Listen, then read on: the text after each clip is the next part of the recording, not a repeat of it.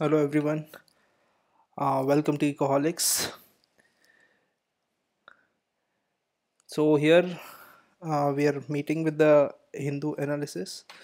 सो हम ये डिस्कशन हिंदी में करेंगे और बीच बीच में इंग्लिश भी मैं आपको बताते जाऊँगा जिससे कि बाइलिंगुअल रहेगा तो सारे स्टूडेंट्स के लिए बेनिफिट है अब सबसे पहले हम बात करेंगे कि जो हमारी फ्री टेस्ट सीरीज़ है अगर आपने अभी तक उसको रजिस्टर नहीं किया है तो इस फ्री टेस्ट सीरीज़ को आप रजिस्टर कर सकते हैं हमारी वेबसाइट पे इकोहॉलिक्स डॉट इन ये टेस्ट सीरीज़ टोटली फ्री है, जो हम 15 सितंबर से स्टार्ट करने जा रहे हैं।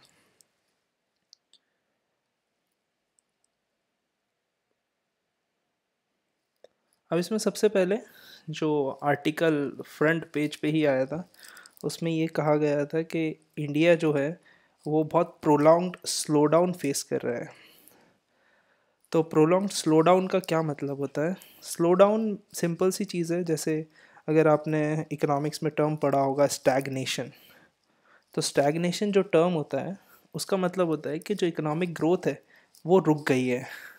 तो इकोनॉमिक ग्रोथ जब ग्रो नहीं होती है, वो रुक जाती है तो उसी को हम, उस सिचुएशन को हम स्टैगनेशन कहते हैं। अब स्टैगनेशन के बाद अगर वो सिचुएशन और बेकार और ख़राब हो जाती है तो हम उसी चीज़ को स्लो डाउन कहते हैं। स्लो डाउन के बाद अगला टर्म आता है रिसेशन जो और ज़्यादा ही डीप होता है डीप इकोनॉमिक क्राइसिस की तरफ़ बढ़ता है। रिसेशन किसको कहते हैं? जो लगातार दो क्वार्टर्स में नेगेटिव ग्रोथ आती है, उसको हम रिसेशन के नाम से जानते हैं। इसके अलावा जो लास्ट वर्ड होता है, जो एक्सट्रीम वर्ड होता है, वो होता है डिप्रेशन तो डिप्रेशन एक महामंदी जिसे कहते हैं हिंदी में वो एक बहुत ही बुरी चीज़ है किसी भी इकोनॉमी के लिए। और यूएस इकोनॉमी में ये चीज़ फेस की थी नाइनटीन ट्वेंटी नाइन में, जब नाइनटीन ट्वेंटी नाइन में ग्रेट डिप्रेशन आया था तब उन्होंने ये चीज़ शुरू की थी। तो 1929 के टाइम बहुत बेकार हालत हो गई थी अमेरिकन इकोनॉमी की। उसके टाइम 25 परसेंट अनएम्प्लॉयमेंट हो गया था, जो जीडीपी ग्रोथ रेट है वो काफ़ी नीचे आ गई थी। तो इसी वजह से ये हमारा जो स्लो डाउन टर्म है, वो वहीं से आया है। तो चार टर्म हो गए स्टैगनेशन स्लो डाउन फिर उसके बाद रिसेशन और डिप्रेशन एक्सट्रीम है। तो यहाँ से हम शुरू करते हैं। ये आर्टिकल सबसे फ्रंट पेज पे दिया था, जो कि इम्पोर्टेंट आर्टिकल है। इस आर्टिकल में सबसे पहले हम लोग डिस्कस करेंगे कि जो फॉर्मर प्राइम मिनिस्टर थे मनमोहन सिंह, उन्होंने क्या कहा। अब पहली लाइन में अगर आप देखेंगे कि इंडिया ने जो प्रोलॉन्ग स्लो डाउन है वो किस वजह से है? तो इन्होंने सबसे पहले दो चीज़ों को ब्लेम किया है, जो कि एक डीमोनेटाइजेशन है। वो जो डीमोनेटाइजेशन पॉलिसी नवंबर 2016 में अडॉप्ट की थी, उसके बाद जीएसटी तो उन्होंने जीएसटी को ब्लेम नहीं किया है तो इस तरह से आप इंटरप्रेट ना करें। उन्होंने जीएसटी को जल्दबाजी में लागू करने को ब्लेम किया है। तो इसी तरह से उन्होंने बताया कि जो अभी रिसेंटली डेटा आया है सेंट्रल स्टैटिस्टिकल ऑफ़िस का, जो सीएसओ है, जो जीडीपी का डेटा रिलीज़ करते हैं, उनकी जो अभी रिपोर्ट आई है क्वार्टरली जो जीडीपी ग्रोथ उन्होंने रिलीज़ किया है, उसमें इंडिया की जीडीपी ग्रोथ फाइव परसेंट हुई है। तो इसको लेके काफ़ी हैवॉक है, हर जगह हर जगह क्राइसिस की सिचुएशन आ रही है कि क्या हमारी इकोनॉमी सही में स्ट्रगल कर रही है। इसी पे मैंने एक वीडियो बनाया जो कल आपको मिलेगा, जिसमें करंट इकोनॉमिक सिचुएशन के बारे में मैंने आपको बताया तो उसको देखना ना भूलें। फिर इसके बाद इन्होंने बात की गई है कि फिफ्थ फाइव परसेंट जो जीडीपी ग्रोथ रेट हुई है तो अगर आप मेरा पॉइंट ऑफ़ व्यू उसमें जानना चाहेंगे तो मेरे कहने का मतलब है कि ये इतनी चिंताजनक बात इसीलिए नहीं है, क्योंकि अगर आप जो क्वार्टर्स का जो क्यू वन है 2019-20 का अगर आप उसको देखेंगे तो उसमें ज़्यादा इशू इसीलिए नहीं आ रहा है क्योंकि जो जीडीपी ग्रोथ रेट है वो अप्रैल मई जून की है। तो आपने देखा होगा उस टाइम इलेक्शन था तो इकोनॉमिक ग्रोथ और बाकी सारी चीज़ें स्टैगनेंट हो जाती हैं।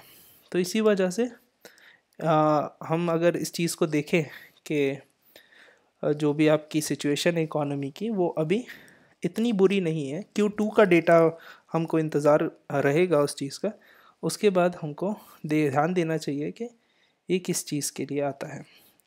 तो इन्होंने इसके अलावा बात की है कि जो फाइव परसेंट जी ग्रोथ है तो उसमें, उसके कारण काफ़ी सेक्टर्स स्ट्रगल कर रहे हैं। जैसे कि आपने सबसे ज़्यादा रिसेंटली न्यूज़ में अगर सुना हो तो वो सेक्टर का नाम है ऑटोमोबाइल सेक्टर तो कार सेक्टर में काफ़ी क्राइसिस चल रही है तो वो सभी न्यूज़पेपरों का फ्रंट लाइन है क्योंकि इसमें जॉब लॉस भी हो रही है और एक्सेस प्रोडक्शन हो रहा है। इसके बाद इन्होंने जो बात की है कि जो पोटेंशियल टू ग्रो है, वो और इंडिया का और ज़्यादा है, क्योंकि अगर हम लोग एम कर रहे हैं कि फाइव ट्रिलियन डॉलर इकॉनमी बन जाएगी दो हज़ार तेईस, चौबीस तक तो हम लोग चौबीस पच्चीस तक तो हम लोग अगले पाँच साल में अगर five trillion dollar economy aim कर रहे हैं तो उस हिसाब से जीडीपी ग्रोथ रेट कम से कम सात से आठ परसेंट ग्रो होनी चाहिए और जीडीपी ग्रोथ रेट लगातार कम होती जा रही है। तो आज के न्यूज़पेपर में हम यही चीज़ डिस्कस करेंगे कि इस सब का बैकग्राउंड क्या है और ये किस वजह से हो रही है, कैसे रिवाइव करना चाहिए, ये सारी चीज़ें। अगर आपके डाउट्स हैं तो मैं देख पा रहा हूँ कि आप लोग जुड़ रहे हैं हमारे साथ सो वेलकम टू इकोहॉलिक्स और जैसे जैसे आप लोगों के डाउट्स होंगे, आप उसमें कमेंट बॉक्स में लिखते जाइए। मैं धीरे धीरे जैसे ही कॉन्टेक्स्ट आएगा, मैं आपको उसी के डाउट क्लियर करते रहूँगा। अब सबसे पहले हम यहाँ देखते हैं कि जो पहला आर्टिकल था, उसमें उन्होंने क्या कहा।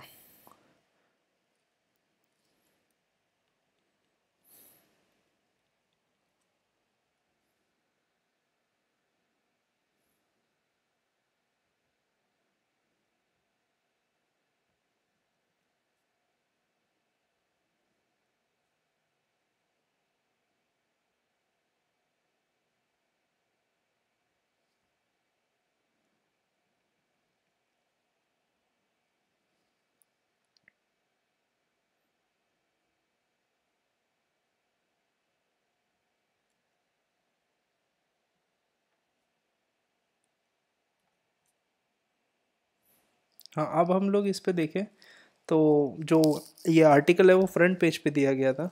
और फ्रंट पेज पे आर्टिकल देने के बाद इसका कंटिन्यूशन बैक पेज पे भी है। उन्होंने कहा है कि जो अभी कंट्री फेस कर रही है, वो डिप्रेस डिमांड फेस कर रही है और कंजम्पशन तो अब मैं आपको बताना चाहूँगा, इसमें एक बहुत इंपॉर्टेंट लाइन है कि जो इंडियन इकोनॉमी है, वो इन्वेस्टमेंट बेस्ड इकोनॉमी अब कम रही है, जो आप पिछले डिकेड में अगर देखेंगे। इस डिकेड में जो इंडियन इकोनॉमी है, वो कंजम्पशन बेस्ड इकोनॉमी ज़्यादा हो गई है। तो कंज्यूमर का जो कंजम्पशन है, उस पर ज़्यादा डिपेंड है। तो अगर डिमांड और कंजम्पशन कम हो जाएगा तो ऑब्वियसली इंडिया की जीडीपी ग्रोथ जो है, वो भी कम हो जाएगी। तो वो कम शो हो रहा है। उसके बाद दूसरी चीज़ इन्होंने कही है इस आर्टिकल में कि लोअर टैक्स रेवेन्यूज़ जो गवर्नमेंट को मिल रहे हैं। अब उसका कारण है कि जो जीएसटी का अगर आप कलेक्शन देखें तो हर महीने दस हज़ार करोड़ का शॉर्टेज है।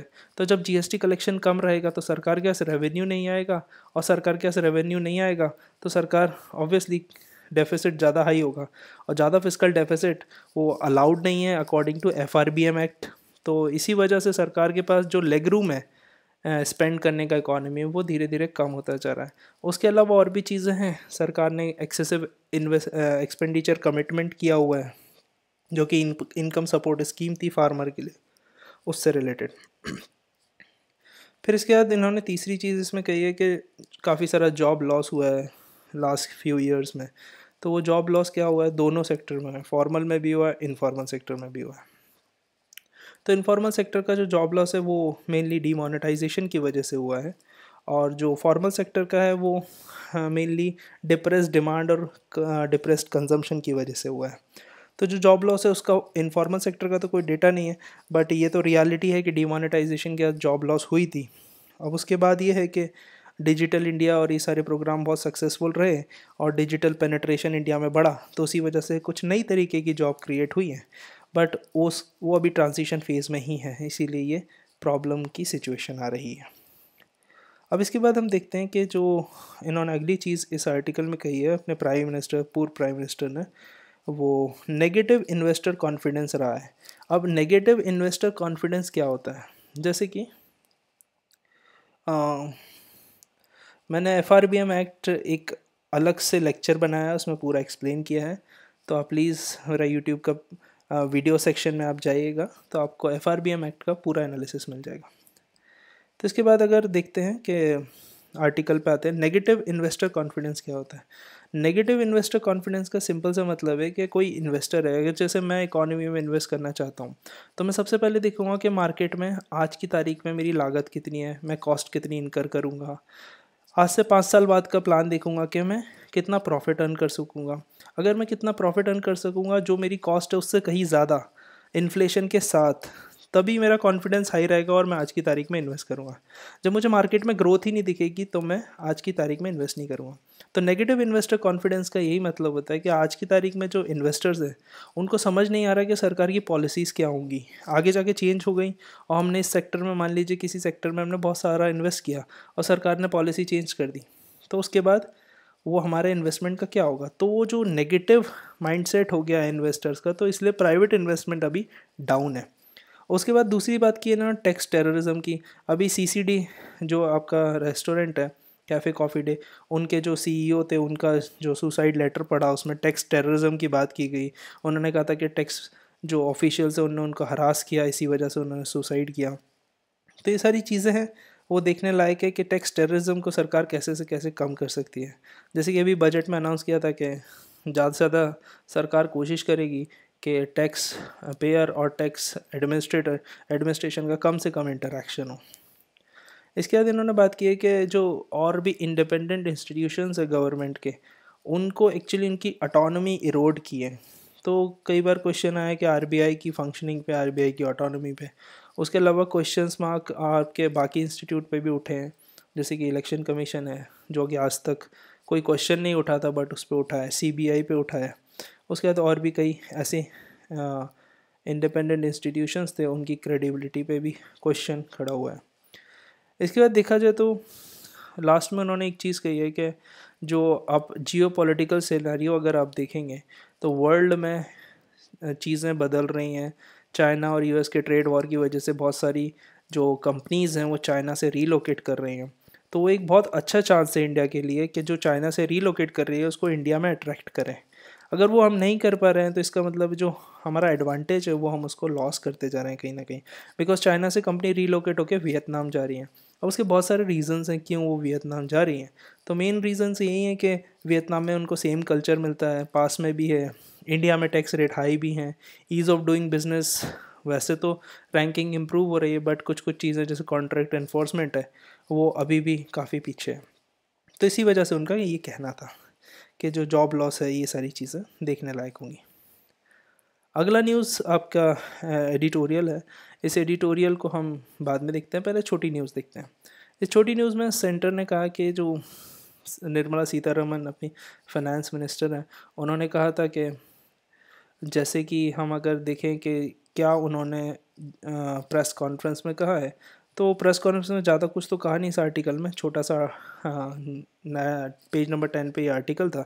उन्होंने जॉब लॉस के बारे में बताया कि जॉब लॉस हुई हैं बट वो इनफॉर्मल सेक्टर में ज़्यादा हुई हैं और इनफॉर्मल सेक्टर में अगर जॉब लॉस ज़्यादा हुई है तो उसका डेटा हमारे पास होता नहीं है। तो इनफॉर्मल वर्सेस फॉर्मल पे उन्होंने बात की है तो ज़्यादा कुछ कंटेंट इस आर्टिकल में आपको मिलेगा नहीं। उसके अलावा उन्होंने कहा कि ऑटोमोबाइल सेक्टर में अगर कोई परेशानी है तो उसको हम सेक्टर वाइज उनका सोल्यूशन निकालेंगे। तो मेनली यही चीज़ की है। अब मैं कुछ डाउट्स ले लेता हूँ। तो why tax collection decreasing day by day तो एक अच्छा क्वेश्चन है कि क्यों टैक्स कलेक्शन कम से कम हो रहा है?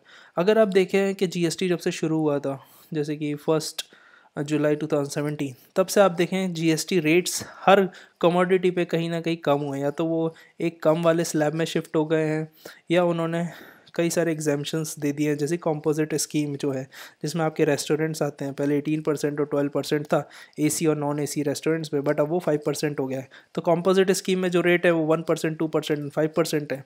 तो इसी वजह से जो रेवेन्यू फोरगोन जिस टर्म को अपन कहते हैं रेवेन्यू फोरगोन तो सरकार टैक्स कम और एग्जामेशन की वजह से जो सरकार का रेवेन्यू कम हो जाता है, उसी को हम कहते हैं। तो जीएसटी रेट कम से कम करने के लिए सरकार ने ही किया है तो इसी वजह से कंप्लायंस ज़रूर बढ़ा है बट वो कंप्लायंस इतना नहीं बढ़ा कि जीएसटी का जो टारगेट है हर महीने का वो फुलफिल हो सके। जब आप हर महीने दस हज़ार करोड़ कम कलेक्ट कर रहे हैं जीएसटी में तो उससे क्या होगा? सालाना वो एक लाख करोड़ हो जाएगा। और वो एक लाख करोड़ आप गिन सकते हैं कि आरबीआई से उन्होंने जो एक लाख छिहत्तर हज़ार करोड़ लिया है तो वो कहीं ना कहीं उसी चीज़ को कॉम्पनसेट करने के लिए किया है। एक मेरा वीडियो है कि आरबीआई कैसे ट्रांसफ़र करता है मनी और कहाँ से आरबीआई के पास इतना पैसा आता है? तो उसको आप ज़रूर देख लीजिएगा, वो हिंदी और इंग्लिश दोनों में है। मैं सारे वीडियो बनाता हूँ, जो भी हिंदी में भी बनाता हूँ, उसको सेम इंग्लिश में भी बनाता हूँ।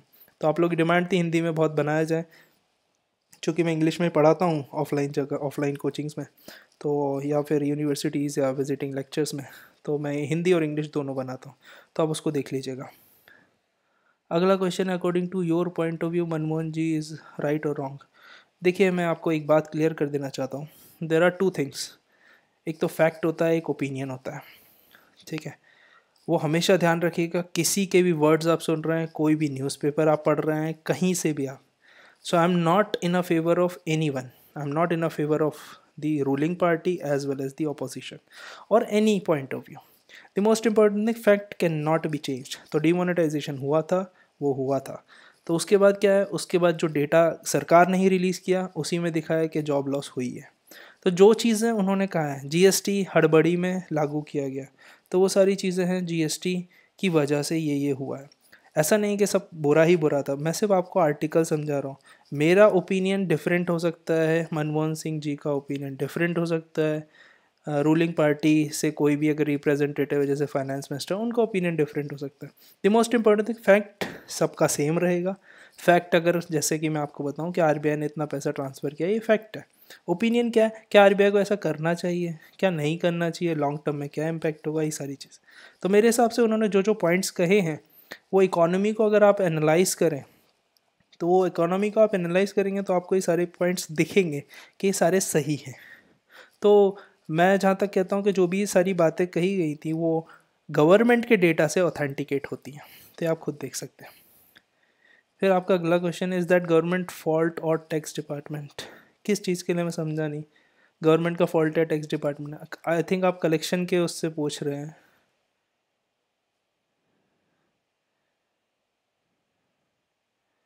हाँ Rishikesh three point nine percent G D P थी in two thousand but that was an we can say abnormal year तो वो एक अब नॉर्मल ईयर था। क्राइसिस थी नॉर्थ अटलांटिक रीजन में। तो जब क्राइसिस थी नॉर्थ अटलांटिक रीजन में तो worldwide G D P decline हुआ था तो वो कोई इशू नहीं है। जीडीपी है डेटा है ग्रोथ है ऊपर नीचे होती रहती है। But the most important thing जो मैं आपको इस लेक्चर में बताने वाला हूँ कि परमानेंट चीज़ें को नुकसान नहीं होना चाहिए। तो अगर परमानेंट चीज़ों को नुकसान नहीं होगा तो ऑब्वियसली इकॉनमी को कोई आ, कोई कंडीशन ख़राब नहीं है। तो मैं आपको अभी इस आर्टिकल के थ्रू आपको और समझाने की कोशिश करूँगा। ये आर्टिकल में जो जो चीज़ें दी हैं उसके अराउंड क्या क्या हो सकता है वो हम उसको कैपिटलाइज करेंगे। तो अगला क्वेश्चन है thanks sir this means that can say because of the government we can not say that because of the government government can not do any thing beyond a certain we can say certain control क्योंकि जैसे अब N D A two आई है तो economy condition शुरू से वैसी थी। जब एन डी ए वन आई थी तो ऑयल प्राइजेस डाउन थे। तो एक्सटर्नल कंडीशन इंडियन इकोनॉमी को ऑब्वियसली बहुत अफेक्ट करती है, क्योंकि इंडिया के इम्पोर्ट्स बहुत होते हैं। तो इंडिया के इम्पोर्ट्स बहुत होते हैं तो उसका कहने का मतलब ये है कि जब इम्पोर्ट्स बहुत रहेंगे तो बाहर से डिपेंडेंसी या बाहर अगर ग्लोबल वर्ल्ड में कुछ अप्स एंड डाउन्स होंगे तो उस पर इंडिया का इम्पैक्ट पड़ेगा ही पड़ेगा।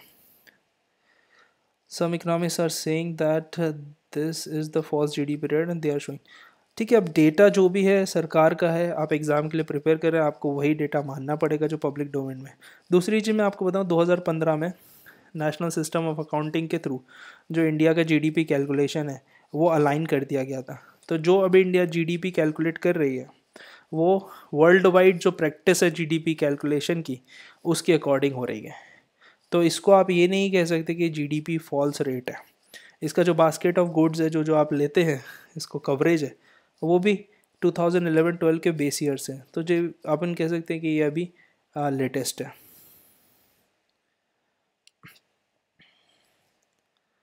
ठीक है, मैं बताता हूँ, ये क्वेश्चन का भी जवाब देता हूँ। इन्फ्यूजन ऑफ़ कैपिटल हम लोग इसी आर्टिकल में डिस्कस करने वाले हैं। Banking on the banks for expansion इसमें पढ़ेंगे इन्फ्यूजन के बारे में दिया गया है और मैं इन्फ्यूजन की आपको पूरी हिस्ट्री बता दूँगा 2014 से, कैसे कैसे इन्फ्यूजन हुआ और उसके पहले का भी आपको बता दूँगा। Just give me some time मैं ये आर्टिकल एक्सप्लेन कर दूँ, फिर आप लोग जितना डाउट हो, आप वो पूछ लीजिएगा because we are deviating from the topic ठीक है? कुछ लोग फॉल्स जीडीपी रेट कह रहे थे, उसका मैं यही कहना चाहूँगा कि जो जीडीपी इंडिया कैलकुलेट कर रहा है, वो नेशनल सिस्टम ऑफ़ अकाउंटिंग जो यूएन प्रैक्टिस है, उसी के अकॉर्डिंग है। तो ये बेसलेस आर्ग्यूमेंट्स हैं, आप उसको क्रॉस चेक कर सकते हैं मिनिस्ट्री की साइड से यूएन की साइड से। अब हम एडिटोरियल पे आते हैं। ये एडिटोरियल बहुत ही इन्फॉर्मेटिव है और बहुत ही अच्छा लिखा है। हो सकता है अगर आपको एक बार में समझना है तो प्लीज़ री रीड अब सबसे पहला जो पैराग्राफ है, वो आपको समझने की कोई ज़रूरत नहीं है दैट इज़ प्योर इकोनॉमिक्स अब जनरल स्टडीज़ या किसी और पर्सपेक्टिव से यही है, उन्होंने कहा कि 2005 में एक नोबेल लॉरिएट ने कहा था कि problem of depression prevention has been solve दो 2005 तक इकोनॉमी में बूम था। जब इकोनॉमी में बूम था तो ऑब्वियसली उस टाइम कोई कंडीशन ख़राब नहीं थी। बट उसके जस्ट बाद सब प्राइम क्राइसिस आ गई, जैसा कि इसमें आर्टिकल में दिया गया। तो उन्होंने कहा था कि जो यूएस फ़िज़िकल डेफिसिट है, वो बहुत बढ़ गया था थ्री फोर टाइम्स हो गया था। उसके बाद उन्होंने कहा था कि जो ये क्राइसिस है, वो जो भी रिलाय कर सकती है, वो फ़िज़िकल पॉलिसी पे रिलाय कर सकती है। अब मैं आपको बताना चाहूँगा फ़िज़िकल पॉलिसी और मॉनिटरी पॉलिसी में डिफरेंस क्या है। अब आपने जो बेसिक पढ़ा होगा बेसिक में क्या होता है, जो फ़िज़िकल पॉलिसी मॉनेटरी पॉलिसी आपको पढ़ाते हैं कि tax reduction study of revenue and expenditure etcetera etcetera but the most important thing about physical policy and monetary policy is that they they actually work together तो they work hand in hand तो उसका क्या मतलब होता है? Monetary policy physical policy को support करे और फ़िज़िकल पॉलिसी मॉनेटरी पॉलिसी को. अब कोई क्राइसिस है जिसको हमको जल्दी रिकवर करना है, किसी भी क्राइसिस से जल्दी रिकवरी करनी है। तो उसमें क्या होता है? फ़िज़िकल पॉलिसी मोस्ट इंपॉर्टेंट होती है। क्यों? क्योंकि अगर आपने मॉनेटरी पॉलिसी देखी है, मैं आपको दो एग्जांपल देता हूँ। अभी आरबीआई ने लगातार रेपो रेट कट किया है। तो लगातार रेपो रेट कट करने से क्या हुआ है? क्या बैंक के लोन सस्ते हुए नहीं, क्योंकि मॉनेटरी पॉलिसी इनडायरेक्ट अफेक्ट होता है उसका इकोनॉमी पे। कैसे होता है? क्योंकि मॉनेटरी पॉलिसी में आरबीआई रेट कम करेगा, उसके बाद बैंक्स रेट कम करेंगे, उसके बाद वो लोन्स पे रिफ्लेक्ट होगा। बट फ़िज़िकल पॉलिसी में क्या होता है? आज आपने टैक्स कट किया, तभी से डिस्पोजेबल इनकम बढ़ जाती है। अभी आपने एक्सपेंडिचर इंक्रीज़ किया, तभी से उसका मल्टीप्लायर इफ़ेक्ट दिखता है इकोनॉमी पे। एक्सपेंडिचर इंक्रीज़ का मैं आपको एग्जांपल देता हूँ। अगर सरकार कहीं रोड बनाती है तो रोड के आसपास शॉप्स खुलती हैं, कोई कनेक्टिविटी होती है, अगर कोई रिलीजियस प्लेस है तो वहाँ लोग विज़िट करते हैं टूरिस्ट प्लेस है तो वहाँ लोग विज़िट करते हैं, वहाँ की इकोनॉमी रिवाइव होती है तो उसका इम्पैक्ट बहुत जल्दी होता है। ना कि मॉनेटरी पॉलिसी का। तो अभी इस वक्त सरकार के पास यही ऑप्शन है कि मॉनेटरी पॉलिसी के छोड़ के करंट जो फ़िज़िकल पॉलिसी है, उसको करना चाहिए। अब इसमें आप बात करते हैं, आगे की बात देखते हैं कि इस आर्टिकल में और क्या लिखा गया है। इस आर्टिकल में सबसे पहले बात की गई है कि ये जो मैंने आपको बताया फ़िज़िकल पॉलिसी कितनी इंपॉर्टेंट है तो उस पर ज़्यादा से ज़्यादा डिपेंडेंसी होनी चाहिए। अब कहने का मतलब है कि सरकार जो अभी कर रही है, वो ये कर रही है कि वो अनप्रडिक्टेबल पॉलिसीज़ बना रही है। अनप्रडिक्टेबल पॉलिसीज़ का मतलब ये होता है कि आपने कोई पॉलिसी अगर बनाई और वो पॉलिसी बनाने के साथ साथ आपने उसको चेंज कर दिया। जब पॉलिसी में सडन चेंजेस होंगे तो ऑब्वियसली इन्वेस्टर्स एक एप्रीहेंसिव रहेंगे कि हम लोग यहाँ इन्वेस्ट करें या ना करें। तो जब एप्रीहेंसिव रहेंगे इन्वेस्टर तो आपका इन्वेस्टमेंट इंक्रीज़ नहीं होगा। जैसे कि अभी जो टैक्स प्रपोजल दिए थे, उनको वापस कर लिया तो रोल बैक कर लिया। अब रोल बैक करने के बाद क्या है? Current repo rate is five point five point three five percent five point four zero percent because they have reduced by thirty five basis point that is a different from the tradition so twenty five basis point से वो कम करते थे तो five point seven five था, वहाँ से उन्होंने thirty five basis point कम किया। तो अब वो रेट हो गया है five point four zero that is the current repo rate तो थर्टी फाइव बेसिस पॉइंट के पीछे उनका एक ही लॉजिक था कि फिफ्टी बेसिस पॉइंट ज़्यादा हो जाता और ट्वेंटी फाइव बेसिस पॉइंट कम हो जाता। तो इसीलिए उन्होंने एक नई figure thirty five basis point decrease किया है। ये शक्तिकांता दास जो आरबीआई के गवर्नर उनका कहना था। तब तो इन्होंने कहा, मैं आर्टिकल पे वापस आता हूँ। तो उसमें कहा था कि जो प्रेस कॉन्फ्रेंस हुई थी, उस पर वापस जो जितने टैक्स प्रपोजल दिए थे गवर्नमेंट ने, उनको वापस ले लिया। तो उससे क्या होता है ना, गवर्नमेंट की एग्जाइटी दिखती है कि स्टेट ऑफ़ द इकोनॉमी क्या है, उसको लेके कितना स्ट्रगल कर रहे हैं। बिकॉज़ आपको पता है कि ग्रोथ लगातार नीचे आ रही है दो ढाई साल से। तो इंडिया ने जो फास्टेस्ट ग्रोइंग इकोनॉमी है, उसका टैग भी खो दिया है। तो इसके अलावा देखते हैं कि और आर्टिकल में कहा गया था कि जो डीमोनेटाइजेशन है, उसके कारण बहुत प्रॉब्लम हुई है। अब डीमोनेटाइजेशन से मेन प्रॉब्लम क्या थी? जो रूरल सेक्टर है रूरल सेक्टर की जो प्रॉब्लम्स हैं, उसको एड्रेस नहीं कर रही है सरकार। और जो इलेक्शन के पीछे, पहले स्कीम अनाउंस की थी, उसके अलावा और कोई उन्होंने कुछ सपोर्ट कैपिटल इन्वेस्टमेंट के तौर पे नहीं किया गया। एग्रीकल्चर तभी से परेशानी में क्योंकि agriculture most of the agriculture comes under informal sector तो जब से डिमोनेटाइजेशन हुआ, तब से इनफॉर्मल सेक्टर रिकवर नहीं हो पाया। अब इसके बाद क्या होता है? जब एग्रीकल्चर ट्रबल है उससे क्या होगा, जो एग्रीकल्चर से रिलेटेड इंडस्ट्री है लाइक फ़ूड प्रोसेसिंग तो जो पैकेज्ड फ़ूड इंडस्ट्री है, वो उसमें भी स्ट्रेस दिखना शुरू हो गया। अब जैसे आपने देखा होगा, कार के सेक्ट कार सेक्टर जो है, उसमें भी इशूज़ हैं। ऐसे ही आप देखेंगे टू व्हीलर सेल्स बहुत इंपॉर्टेंट होती है। अगर आपको रूरल डिमांड देखनी है तो टू व्हीलर सेल्स बहुत इंपॉर्टेंट होती है। क्योंकि रूरल एरिया में अगर किसी की इनकम इंक्रीज़ होती है तो सबसे पहले टू व्हीलर्स खरीदते हैं। अगर वो टू व्हीलर्स नहीं खरीद रहे हैं, इसका मतलब रूरल जो इकॉनमी है, वो स्ट्रेस में है। फिर इसके बाद इस आर्टिकल में बात की गई है कि जो इन्फ्यूजन है, जो सरकार ने पब्लिक सेक्टर बैंक्स में किया है तो जो इन्फ्यूजन का मतलब होता है, उनके पास जो कैपिटल है, वो कम पड़ गई है, इसलिए सरकार ने उनको और पैसा दिया है ताकि वो अपनी बैंकिंग एक्टिविटी को स्मूथ कर सकें और एक्सपेडाइट कर सकें और बढ़ा सकें। तो जो कैपिटल इन्फ्यूजन था, सबसे पहले जब सरकार आई थी, जैसे मैं इनका डाउट लेता हूँ, जिन्होंने पूछा था can you explain the relation between infusion of money in I D B I bank and improving in the G S T collection whether it will improve और नॉट तो सबसे पहले मैं आप बता देता हूँ, जो कोरिलेशन है इसमें। सबसे पहले मनी इन्फ्यूजन की बात करते हैं। अगर मनी इन्फ्यूजन को आप देखें तो वो 2014 में सत्तर हज़ार करोड़ सरकार ने दिए थे। तो सत्तर हज़ार करोड़ में से चार साल के लिए दिए थे 2014 में। तो चौदह पंद्रह ऐसे कर करके एक एक साल के लिए जो कैपिटल इन्फ्यूजन था वो पच्चीस पच्चीस हज़ार करोड़ करके था और आखिरी दो ईयर्स के लिए दस दस हज़ार। तो ये सत्तर हज़ार करोड़ था। बट उसके बाद भी बैंक सी प्रॉब्लम और एनपीए बढ़ते ही गए। वो कम नहीं हुए। अब मैं आपको बताता हूँ एन और कैपिटल इन्फ्यूजन का क्या रिलेशन है। अब कैपिटल इन्फ्यूजन आप लगातार करते जाएँगे बट आप रिफॉर्म्स नहीं लाएँगे उसके साथ। तो हमेशा प्रॉब्लम होगी। जैसे कि मैं आपको समझाता हूँ। अगर आप किसी को जैसे आप पैसा दे रहे हैं, पैसा देते जा रहे हैं और वो उस पैसे को खाते जा रहे हैं या खर्चा करते जा रहे हैं, वो किसी ऐसी चीज़ में इन्वेस्ट नहीं कर रहे हैं जो आगे जाके उसके लिए इनकम जनरेट करेगी। जैसे कि आपको मान लीजिए आपको घर से पैसा मिल रहा है, आप स्टूडेंट हैं, आप पढ़ रहे हैं तो अगर वो घर से पैसा मिल रहा है आपको, आप उसको ज़्यादा से ज़्यादा खाने में खर्च कर रहे हैं, आप सेव नहीं कर रहे या कुछ ऐसी चीज़ें नहीं कर रहे या एफ़ नहीं बना रहे या आप किसी और तरह से सेविंग नहीं कर रहे, म्यूचुअल फंड्स नहीं खरीद रहे तो क्या होगा इन फ्यूचर में आपके पास वो पैसा ख़त्म हो जाएगा। और जो आपने खा पी लिया है, जो कंज्यूम कर लिया है, उसका कोई भी बेनिफिट नहीं होगा। तो ये सब होने के बाद क्या इशू आता है कि आपका कैपिटल तो मिल जाता है, पर वो इतना एसेट जनरेट नहीं कर पाता जो फ्यूचर में आपकी इनकम इंक्रीज़ कर सके। अब सरकार ने ये चार साल के लिए बनाया प्लान सत्तर हज़ार करोड़ का, जो 2014 में बनाया था। उसके बाद क्या हुआ? 2017 में एक और प्लान बनाया 2.11 लाख करोड़ का। वो भी कैपिटल इन्फ्यूजन था। वो पूरा बजटरी सपोर्ट में नहीं था। बॉन्ड्स भी थे उसमें, और उसमें मार्केट से रेस करने को भी कहा था। मार्केट से रेस करने का मतलब होता है banks stock market share market जा सकते हैं, और वहाँ से पैसा रेस कर सकते हैं। तो ये सब होने के बाद भी बैंक्स फिर भी स्ट्रगल करते रहे। अब क्या हुआ? इस साल फिर से सत्तर हज़ार करोड़ पब्लिक सेक्टर बैंक्स के लिए एज अ पैकेज फिर से दिया गया। अभी पिछले दस पंद्रह सालों से चल रहा है। अभी सत्तर हज़ार करोड़ जो पब्लिक सेक्टर सरकारी बैंक्स को मिले हैं, उसका क्या होगा? उसका इम्पैक्ट होगा कि पाँच लाख करोड़ क्रेडिट का ये एक्सपांशन करेंगे। क्रेडिट कैसे बढ़ेगा? क्योंकि वो अगर आपने मनी मल्टीप्लायर का थ्योरी पढ़ा हो इकोनॉमिक्स में तो क्या होता है ना मनी अगर आपने किसी को दिया है तो वो मल्टीप्लाई होता है। जैसे मैंने लोन लिया तो मैं खर्च करूँगा तो इकोनॉमी में एक मल्टीप्लायर इफ़ेक्ट बनता है। तो इनके कहने का मतलब जो सत्तर हज़ार करोड़ रुपए जो सरकार, सरकारी बैंक्स को दे रही है, वो पाँच लाख करोड़ का क्रेडिट एक्सपेंशन करेंगे। चलिए, ये तो यहाँ तक ठीक है। पर उसके साथ क्या है?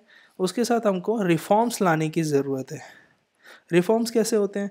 अभी क्या होता है, ये तो हर बार आप पैसा देते जाओगे और बढ़ता जाएगा, पर उससे क्या, कोई सॉलिड फाउंडेशन खड़ी नहीं होगी। तो सॉलिड फाउंडेशन नहीं होगी, जब तक क्या होगा, जब तक आप रिफॉर्म्स नहीं लाएँगे तो ये पैसा वेस्ट होता जाएगा, ये फिर से एन पी टर्न आउट हो जाएँगे। तो उन्होंने कहा है कि दो चीज़ों का हमें यहाँ ध्यान रखना चाहिए। सबसे पहले अगर आप कोई भी कैपिटल इन्फ्यूजन करते हैं तो उसके साथ साथ गवर्नेंस में रिफॉर्म लाना ज़रूरी है। गवर्नेंस में रिफॉर्म लाने का क्या मतलब होता है कि जो सरकारी बैंक डिसीज़न लेते हैं ना लोन देने में और लोन रिकवरी में, इन दोनों में बहुत ही मतलब ध्यान रखने की ज़रूरत होती है। अगर गवर्नेंस में रिफॉर्म नहीं आया, डिसीज़न मेकिंग में रिफॉर्म नहीं आया तो आप फिर से रिस्की लोन्स देते जाएँगे और वो नॉन परफॉर्मिंग एसेट्स बन जाएँगे। नॉन परफॉर्मिंग एसेट्स वही होते हैं जो लोन आपका गया पर वो वापस नहीं आया। अब आपको पता है, बैंक के लिए लोन ही एसेट्स होते हैं। अब लोन ही अगर नहीं आएँगे और डिपॉजिटर तो पैसा मांगने आते ही हैं तो वो मिसमैच हो जाता है।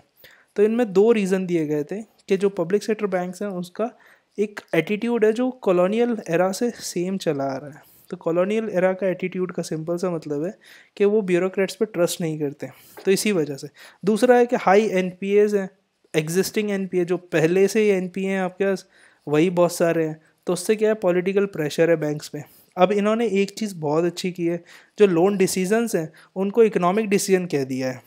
क्योंकि क्या होता था, कोई भी अगर लोन सेंक्शन करता था, कोई भी बैंक का मैनेजर एम्प्लॉय या जो भी अथॉरिटी में है, जो भी लोन सेंक्शन करता था, अगर वो लोन डिसीज़न में आता था तो वो अगर एन बन जाए या कुछ इशू हो जाता था तो उस पर करप्शन का केस लग सकता था। कि इन्होंने नेपोटिज्म करके इस कंपनी को लोन दिया, इस फर्म को लोन दिया, इस तरह से। बट अब लोन डिसीज़न का टर्मोलॉजी चेंज करके उन्होंने इकोनॉमिक डिसीज़न कहा है? तो इकोनॉमिक डिसीज़न किसी भी इंडस्ट्री का फेल हो सकता है, किसी भी फर्म का फेल हो सकता है, इसी तरह बैंक का भी फेल हो सकता है। तो उसका जो स्टेटस है वो चेंज किया।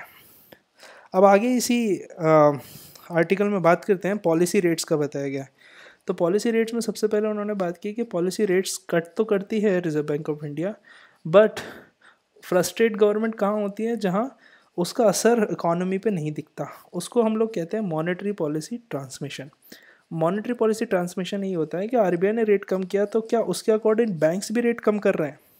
तो जनरली क्या होता है आरबीआई जब रेट बढ़ाता है तो बैंक्स तो बहुत जल्दी रेट बढ़ा देते हैं। पर जब आरबीआई रेट कम करता है तो बैंक्स बहुत रिलक्टेंट रहते हैं लोन रेट कम करने में। तो इस आर्टिकल में कहा गया है कि जो बैंक्स जो लोन रेट कम करने का डिसीज़न है, उसमें बहुत सारी चीज़ें होती हैं। जैसे रिस्क फैक्टर होता है बैंक की कॉस्ट होती है तो बहुत सारी चीज़ें होती है। तो ये डिसीज़न बैंक पे ही छोड़ देना चाहिए ऐसा उन्होंने कहा। बट अगर आप मेरा ओपिनियन मांगेंगे तो मेरे हिसाब से आरबीआई को ऐसा टूल लाना चाहिए जो इसको जल्दी से जल्दी फ्लक्चुएट कर सके। क्योंकि अगर आरबीआई रेट कम कर रहा है तो वो इसी सोच में कम कर रहा है कि लोन्स चीप होंगे और जब चीप लोन्स होंगे तो इन्वेस्टर उसको बोरो करेंगे और इन्वेस्टर बोरो करेंगे तो इन्वेस्टमेंट बढ़ेगा इकोनॉमी रिवाइव होगी। जब ये साइकिल ही कंप्लीट नहीं होगा तो मॉनेटरी पॉलिसी तो इनफेक्टिव हो जाएगी। तो ये सारी चीज़ें इसके बाद देखा जाए कि जो लैंडिंग रेट्स हैं, वो मतलब बहुत इंपॉर्टेंट रोल प्ले करते हैं। क्यों? क्योंकि लैंडिंग रेट्स में अगर वो कम है तो वो कॉस्ट ऑफ़ फाइनेंस जो होती है इन्वेस्टर की, वो कम हो जाती है। तो इसलिए बहुत इंपॉर्टेंट होता है कि अगर मैं बिज़नेस कर रहा हूँ, मैं लोन लेना चाहता हूँ तो एक बैंक अगर मुझे सात परसेंट लोन सात परसेंट पे लोन दे रहा है, दूसरा आठ पे दे रहा है तो ऑब्वियसली मैं सात परसेंट से लूँगा क्योंकि वहाँ से मेरी कॉस्ट कम होगी। अब इन्होंने दो टर्म यूज़ किया, एक तो एनिमल स्प्रिट कहा गया है। तो एनिमल स्प्रिट इकोनॉमिक्स में कोर इकोनॉमिक्स में इस तरह से जाना जाता है कि जो इन्वेस्टर्स होते हैं, वो स्पॉन्टेनियस उनका इन्वेस्टमेंट बढ़ता है। मतलब वो इंटरेस्ट बढ़ाते हैं। जैसे ये एरिया अगर मान लीजिए कोई एरिया है जो बहुत ग्रोइंग दिख रहा है, जैसे कि अगर आप देखें तो इलेक्ट्रिक व्हीकल्स जो ईवी e कार्स बन रही हैं बहुत उसको कह सकते हैं अट्रैक्टिव है। तो उसमें बहुत सारे इन्वेस्टर्स उसमें इन्वेस्ट करेंगे। तो उसे हम एनिमल स्प्रिट्स कहते हैं। दूसरे एनिमल स्प्रिट्स क्या कहते हैं? जैसे मान लीजिए कोई रेगुलेशन आ रही है जो डीजल गाड़ी को डिस्करेज करती है। तो डीजल गाड़ी में अब इन्वेस्टमेंट नहीं होगा कम होगा। डीजल गाड़ियाँ कम बनेंगी कम बिकेंगी। तो वो जो सडन मूवमेंट है इन्वेस्टर्स का किसी की तरफ़ और किसी आ, या किसी सेक्टर की तरफ़ या किसी सेक्टर से दूर जो जाते हैं उसे हम एनिमल स्प्रिट कहते हैं। पर जो एनिमल स्प्रिट टर्म है उसको अगर हम ब्रॉड सेंस में देखें तो उनका सिर्फ़ यही रहता है कि फ्यूचर एक्सपेक्टेशन क्या है। तो एनिमल स्प्रिट्स जो हैं वो किस से डिराइव होती हैं? वो होती हैं आपकी marginal efficiency of capital marginal efficiency of capital का मतलब होता है कि हम अगर पैसा लगा रहे हैं तो वो कितना रिटर्न उस पर मिलेगा? क्या एफिशिएंसी है उस कैपिटल की? इसके बाद ये आर्टिकल में लास्ट के पैराग्राफ में कुछ अच्छी चीज़ें कही हैं कि गवर्नमेंट क्या कर सकती है और क्या गवर्नमेंट का एक्शन रहना चाहिए। तो सबसे पहले गवर्नमेंट अभी क्या करे गवर्नमेंट वेट कर रही है कि प्राइवेट इन्वेस्टमेंट आगे आएगा और वो प्राइवेट इन्वेस्टमेंट ग्रोथ में इम्प्रूव करेगा। बट वो कह रहा है प्राइवेट सेक्टर भी होल्ड बैक किए हुए हैं। वो किस लिए? वो इंतज़ार कर रहे हैं कि ग्रोथ पिक होगी तब हम इन्वेस्ट करेंगे। तो अब यहाँ सरकार को सोचना चाहिए कि अगर प्राइवेट इन्वेस्टर्स इंटरेस्ट नहीं है उनकी मार्जिनल एफिशिएंसी ऑफ़ कैपिटल नहीं दिख रहा है उनको तो सरकार को यहाँ इनिशियल स्टेप लेना होगा। क्योंकि हमारी मिक्स्ड इकोनॉमी है इसमें सरकार बहुत इंपॉर्टेंट रोल प्ले करती है। तो यहाँ पर गवर्नमेंट को एक आ, कह सकता हूँ कि एक फॉरवर्ड स्टेप लेना होगा। और वो फॉरवर्ड स्टेप लेने के बाद सरकार उसमें इन्वेस्ट करे जिससे कि प्राइवेट सेक्टर को आगे फ्यूचर दिखे। इसके बाद उन्होंने कहा कि जो 2003-2008 का गोल्डन पीरियड था, जैसा कि मैं जीएस क्लास में भी बताता हूँ, जो आईएएस के लिए पढ़ाता हूँ, कि जो गोल्डन पीरियड है इंडियन इकोनॉमिक ग्रोथ का 2003 से 2008 उसमें तीन फैक्टर मेन थे। एक तो एग्रीकल्चर ग्रोथ बहुत हाई थी, दूसरा पब्लिक इन्वेस्टमेंट भी बहुत रिकॉर्ड हाई गया था उस टाइम और तीसरा था बायंट एक्सपोर्ट्स थे। तो जीडीपी जैसे जैसे बढ़ रहा था एक्सपोर्ट्स भी बढ़ रहे थे। अब इन तीन चीज़ में से हम देखेंगे कि एक्सपोर्ट्स तो अपने हाथ में होते नहीं है, वो एक्सटर्नल फैक्टर्स होता है, पर एग्रीकल्चर ग्रोथ और पब्लिक इन्वेस्टमेंट दोनों पे हमारा कंट्रोल है। अब एग्रीकल्चर ग्रोथ की बात की जाए तो सरकार को एग्रीकल्चर में कैपिटल इन्वेस्टमेंट की ज़रूरत है। बल्कि सरकार ने इंटरिम बजट में क्या अनाउंस किया था? इनकम सपोर्ट स्कीम प्रधानमंत्री किसान सम्मान निधि। उसमें इनकम सपोर्ट दिया है। तो वो वेस्ट एक्सपेंडिचर है रेवेन्यू एक्सपेंडिचर है। इसके वजह सरकार कैनाल बनाती इरीगेशन फैसिलिटी इंप्रूव करती माइक्रो इरीगेशन से, जिसको ड्रिप और स्प्रिंकलर इरीगेशन कहते हैं। तो उससे ऑलराउंड डेवलपमेंट होता फार्मर्स का। उनको एपीएमसी मंडी से बाहर निकालती तो रिफॉर्म्स आते तो एग्रीकल्चर ग्रोथ बहुत पिकअप होती अब क्या हुआ पब्लिक इन्वेस्टमेंट भी उस टाइम बहुत हाई था। अभी पब्लिक इन्वेस्टमेंट डाउन है, उसके दो रीज़न है। सरकार के पास फ़िज़िकल स्पेस नहीं है, क्योंकि इनकम सपोर्ट स्कीम आपने इतनी बड़े अमाउंट की अनाउंस कर दी है और जीएसटी रिसीट्स कम है आपके पास। तो ऑब्वियसली सरकार के पास रूम कम है तो सरकार अब इन्वेस्ट नहीं कर पा रही है। अब ये है कि सरकार को देखना चाहिए गवर्नमेंट को कि किस तरह हम इस चीज़ को इंक्रीज़ कर सकते हैं। क्योंकि अगर गवर्नमेंट बोरो करेगी तो फ़िज़िकल डेफिसिट हाई हो जाएगा। जब फ़िज़िकल डेफिसिट हाई हो जाएगा तो जो बाहर की क्रेडिट रेटिंग एजेंसी है, जैसे आपने पिछले साल, पिछले के पिछले साल पढ़ा होगा मूडीज़ क्रेडिट रेटिंग जो इम्प्रूव हुई थी इंडिया की तो वो फिर डाउनग्रेड हो जाएँगी। तो इस तरह से ये इशू आ रहे हैं। अभी की सिचुएशन में क्या है? रूरल इकोनॉमी को सबसे पहले रिवाइव करना चाहिए, क्योंकि most of the informal sector goes there उसके अब सबसे पहला इस आर्टिकल में बताया गया कि मनरेगा में आप रिफॉर्म लाओ मनरेगा पे इन्वेस्ट करो तो वहाँ से एम्प्लॉयमेंट जनरेट होगा और ये सारी चीज़ें होंगी। तो उम्मीद करता हूँ आपको ये लेक्चर पसंद आया होगा बिज़नेस स्पेस का जो एनालिसिस था। आ, कल डेली हम लोग रात में इसी टाइम से डिस्कस करेंगे इसी चीज़ को। अब मैं आपके सारे डाउट्स ले लेता हूँ। जैसे कि can you explain the relation between infusion of money in I D B I bank and improvement in the G S T collection अब mainly G S T collection improve होने के दो ही, मैं कह सकता हूँ, जो स्टेप हैं। पहली पहला स्टेप है कि आप जो जी एस टी जो टैक्स पेयर्स हैं, उनका बेस बढ़ाया जाए। तो रेट कम भले ही है बट उस पर स्क्रूटनी बढ़ाई जाए, ताकि ज़्यादा से ज़्यादा लोग जो ब्रैकेट में आते हैं, वो टैक्स पे करें। और जो इंफ्रास्ट्रक्चर है, उसको बहुत आसान बनाया जाए। अभी क्या हो गया है जीएसटी में रिटर्न्स बहुत फ़ाइल करने पड़ते हैं तो एक कॉस्ट बढ़ जाती है किसी भी फॉर्म की। तो सबसे पहले ये है कि जो cost of filing cost of compliance जिसे हम कहते हैं, वो सबसे पहले कम होना चाहिए। वो कब होगा? जब ईज़ ऑफ़ फाइलिंग होगा, जब जीएसटी रिटर्न फ़ाइल करना आसान हो जाएगा। तो मेन चीज़ है जीएसटी जो बेस है, आप उसको बढ़ाइए तो ज़्यादा से ज़्यादा रेवेन्यू आप मॉप अप कर पाएँगे। जैसे मैं आपको सिंपल एग्जांपल देता हूँ जीएसटी बेस का क्या मतलब है यहाँ पे? जैसे आपके पास पचास टैक्स पेयर्स है, आप सबसे सौ सौ रुपया लेते हैं। तो आपके पास कितना रुपया आता है? पचास है, सौ सौ रुपया आप सबसे ले रहे हैं तो आपके पास आएगा पाँच सौ रुपया। तो पाँच सौ रुपये में पाँच लोग और फिर उसके बाद पाँच हज़ार। तो पाँच हज़ार आपका जीएसटी कलेक्शन हो गया। अब जीएसटी कलेक्शन पाँच हज़ार हो गया। मान लीजिए आपके पास पाँच सौ लोग हैं और पाँच सौ लोगों में से ही आप सॉरी पचास लोग थे, आप सौ सौ रुपये ले रहे थे। तो पचास लोग हैं आपके पास और आप सौ सौ रुपये ले रहे हैं उनसे तो वो आपका पाँच हज़ार का कलेक्शन हो गया। अब मान लीजिए आपके पास पचास लोग से बढ़ के आपने और टैक्स रेट कम कर दिया और ज़्यादा लोग अब टैक्स ब्रैकेट में आने लग गए। तो पहले आपके पास पचास लोग थे और आप सौ रुपये टैक्स ले लेते। अब आपके पास मान लीजिए सौ लोग हो गए तो आप टैक्स रेट को अगर आधा कर देंगे, पचास रुपये कर देंगे तो आपके पास कलेक्शन तो पाँच हज़ार ही रुपये ही आएगा। पर होगा क्या? जो इंडिविजुअल टैक्स बर्डन है वो सौ रुपये से पचास रुपये हो गया। तो इंडिविजुअल सोचेंगे कि सौ रुपये टैक्स पे करना बहुत हैवी होता था बट अब हम लोग अगर कम टैक्स पे कर देंगे तो भी सरकार को कोई परेशानी नहीं है। सरकार को भी पाँच हज़ार पहले मिल रहे थे, अब भी पाँच हज़ार मिल रहा है। तो टैक्स बेस बढ़ाने से क्या होगा? दोनों तरह विन विन सिचुएशन रहेगी टैक्स पेयर के लिए भी और टैक्स अथॉरिटी के लिए भी। दूसरी चीज़ है जो इन्फ्यूजन है। इन्फ्यूजन से हेल्प तो होती है बट मैंने वही आपको बताया कि इसमें गवर्नेंस रिफॉर्म की बहुत ज़रूरत है, बहुत ज़रूरत है कि गवर्नेंस में रिफॉर्म नहीं आएँगे तो इतना कैपिटल इन्फ्यूजन बार बार करने का कोई मतलब नहीं निकलेगा। ये फिर एनपीए बढ़ जाएगा और कैपिटल इन्फ्यूजन करते करते एन का अमाउंट और आगे बढ़ जाएगा। तो यही सारी चीज़ें हैं जो मैं आपसे कहना चाहता था। अगेन अगर मैं आपको बताना चाहूँ तो फ्री टेस्ट सीरीज़ है, आप उसके लिए रजिस्टर कर लीजिएगा। फिफ्टीन सेप्टेम्बर से we are starting with this free test series उसके लिए आप इकोहॉलिक्स डॉट इन पर आप रजिस्टर कर सकते हैं। इसमें तीन टेस्ट सीरीज़ मिलेंगी आपको economics optional Indian economic services and U G C NET इन तीनों के हम कोर्सेज भी करवाते हैं तो कोर्सेज एंड टेस्ट सीरीज़ हैं तो टेस्ट सीरीज़ आपको फ्री मिलेगा उसमें तो आप रजिस्टर कर सकते हैं ई डॉट इन पर बिफोर फिफ्टीन सेप्टेम्बर उसके बाद टेस्ट सीरीज़ तीनों के लिए भी आप रजिस्टर कर सकते हैं, जिसमें भी आप जो भी एग्ज़ाम दे रहे हैं, उसके लिए आप रजिस्टर कर सकते हैं। उसके अलावा हमारे पास कोर्सेज़ भी हैं जो इकोलिक्स मोबाइल ऐप पे मिलते हैं आपको, जैसे कि U G C NET econometrics mathematical economics ये सारी चीज़ें। तो उम्मीद करता हूँ आपको आपको